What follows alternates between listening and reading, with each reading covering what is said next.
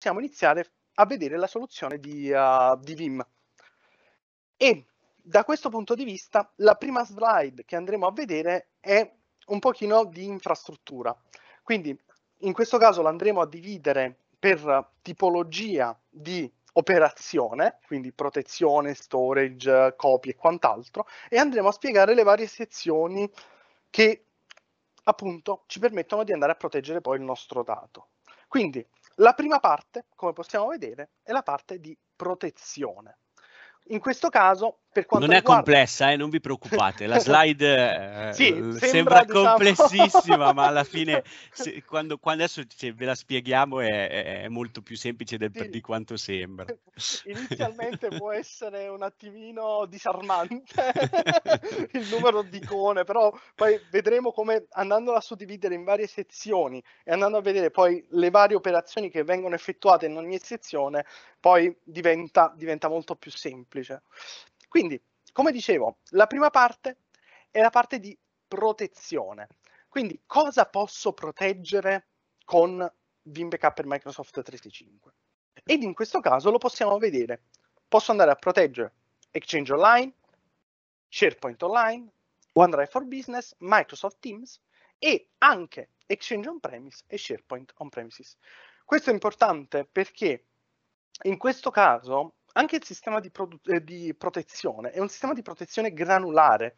In questo caso io non vado, ad esempio, soprattutto, cioè, in relazione alla parte on-prem, non vado a proteggere la macchina virtuale o il server stesso, quindi non vado a proteggere il sistema operativo, i servizi e quant'altro, ma in realtà vado a proteggere i dati che sono all'interno, quindi le mailbox e quant'altro, per quanto riguarda SharePoint, appunto, i site o le librerie. Um, e quindi questo è estremamente importante perché questa tipologia di soluzione è focalizzata effettivamente sulla protezione del dato finale. Dopodiché, dove posso andare a, a mantenere appunto che tipologia di storage posso andare ad utilizzare per proteggere questi dati. Ed in questo caso lo vediamo appunto nella parte di store e vediamo come in questo caso ho la possibilità sia di utilizzare degli object storage, quindi mantenere il dato e mantenere tutta la soluzione di backup direttamente in cloud e posso utilizzare Amazon S3, posso utilizzare um, Microsoft Blob Storage piuttosto che IBM Cloud o tutti gli object storage che sono S3 compatibili. Questo cosa vuol dire? Che facciamo il caso che mh, voglio mantenere la mia soluzione di backup in cloud, però non la voglio mantenere all'interno di Azure, perché magari voglio differenziare la tipologia di infrastruttura. Con Vim posso farlo. Oppure se voglio mantenere mia, mh, i miei dati di Office 365 direttamente on-prem. Ed in questo caso sia la possibilità di utilizzare uno storage locale piuttosto che anche un object storage installato localmente. Quindi da questo punto di vista uh, Vim offre una flessibilità per quanto riguarda anche la parte di storage. Ora, uno dei motti, comunque storicamente, uno dei motti di Vim è quello di essere storage agnostic, il che vuol dire che noi cerchiamo di coprire qualsiasi tipologia di storage appunto per dare la flessibilità all'utente, all'azienda che utilizza i nostri prodotti, di poter utilizzare il, la tipologia di Um, la tipologia di storage che è più pertinente per i loro problemi, per, per, per, le loro necessità in questo caso. E questo mi porta anche a un altro vantaggio, al vantaggio che io mantengo la proprietà del dato.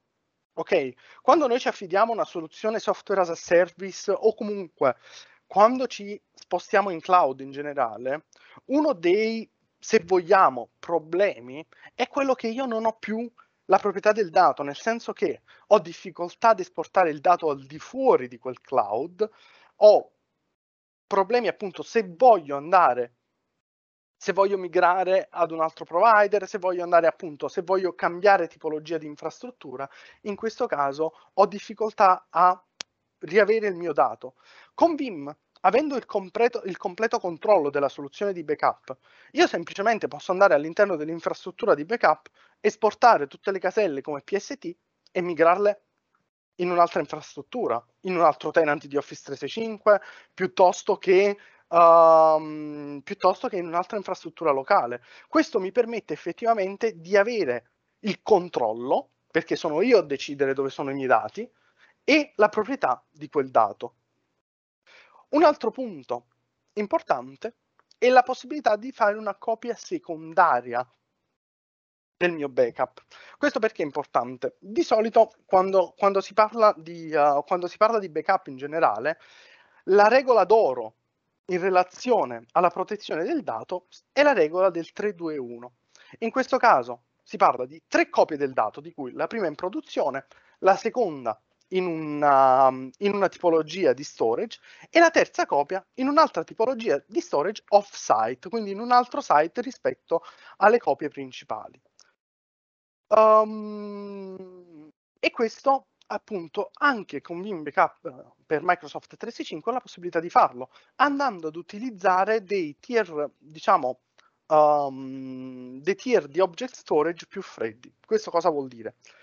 Questa tipologia di object storage che vediamo in questo caso, quindi S3 Glacier, uh, Deep Archive, piuttosto che uh, Microsoft Azure Archive, mi permettono appunto di avere una grande quantità di spazio a un prezzo, um, a un, a un prezzo molto basso e effettivamente di andare a pagare quelle che sono le transazioni, le operazioni che andrò a fare sul dato. In questo caso perché è conveniente per questo tipo di, uh, questo tipo di backup secondario? Perché normalmente io la parte di recupero, il recupero del dato lo farò dallo storage principale, quindi dallo storage primario di backup e solo in caso di problemi su questo tier di storage avrò la necessità di utilizzare appunto questa copia secondaria. Quindi statisticamente sarà molto più improbabile che avrò la necessità di andare ad utilizzare questo copy. Quindi questo vorrà dire che andrò a fare molte meno transazioni su questo tipo di storage. E comunque avrò la sicurezza di avere almeno due copie, quindi se la prima copia non è disponibile potrò sempre andare ad utilizzare la seconda copia come sorgente. Ed infine la parte di recupero del dato. Anche questa direi fondamentale. e, e che nella nuova versione c'è una cosa interessantissima. Esattamente, che poi vedremo, vedremo poi durante, durante, la parte di, uh, durante la demo. Uh, in questo caso, allora, uh, con Vim io ho fondamentalmente due metodi per poter fare il recupero. Il primo metodo è quello dell'utilizzo di quelli che noi chiamiamo Explorer.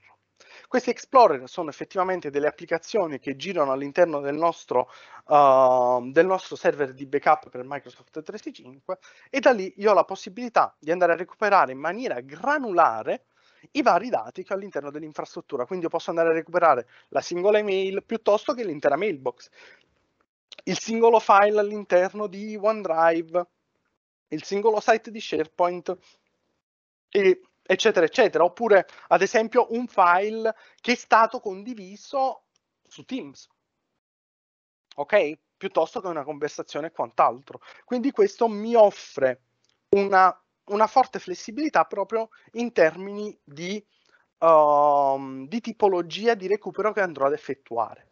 Ed in secondo luogo, adesso con l'ultima versione, con la versione 6 di uh, Vim Backup per, uh, per Microsoft 365, abbiamo una nuova funzionalità che si chiama Self-Service Portal. In questo caso parliamo di un portale web che utilizza direttamente l'autenticazione di Office 365, quindi in questo caso io potrò utilizzare direttamente le mie credenziali che utilizzo per accedere alla mia mail, che utilizzo per accedere a OneDrive, le potrò andare ad utilizzare per accedere ai miei backup. Quindi ad esempio io sono un utente standard, ho una mailbox, ho i miei dati su OneDrive e ho bisogno di accedere ai miei backup. Io posso andare ad automatizzare tutta questa tipologia di recupero con questo self-service uh, restore portal. Quindi l'utente avrà la possibilità semplicemente di andare all'interno del suo backup e di recuperare eventualmente i dati di cui ha bisogno. Oppure, se non voglio dare all'utente finale la possibilità di poter recuperare i dati in maniera autonoma, questo portale mi permette anche di fare delle deleghe. Quindi, ad esempio, voglio che uh, un utente specifico sia in grado di andare a recuperare le email di tutto un determinato dipartimento all'interno dell'azienda.